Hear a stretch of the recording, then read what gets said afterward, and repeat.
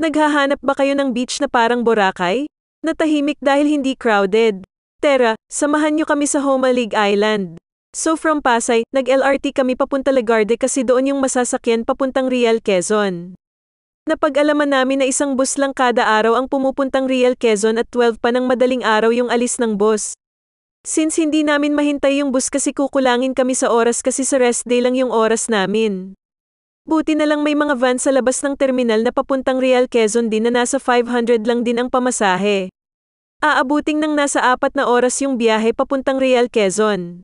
Nga pala, itong mga video na pinapakita ko is sa Real Quezon na kasi hindi ako nakapag-video noong nasa Lagarde pa kami kasi busy kami maghanap ng ibang masasakyan kasi wala ng boss.